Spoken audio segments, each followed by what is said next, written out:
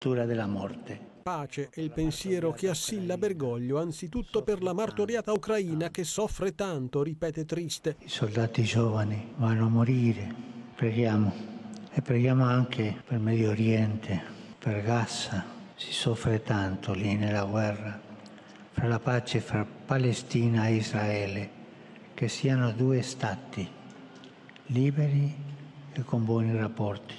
Udienza del mercoledì in piazza San Pietro. Ogni uomo ha nel cuore la capacità di cercare il bene, spiega Francesco. Il cristianesimo ha non sostituito ma valorizzato e purificato la sapienza antica e chi fa una montagna di bene solo però per esaltare se stesso. Può dirsi ancora una persona virtuosa? No, no. Attenzione perciò al veleno potente della superbia, conclude il Papa. Quando io è al centro di tutto, il nostro io è al centro, si rovina tutto.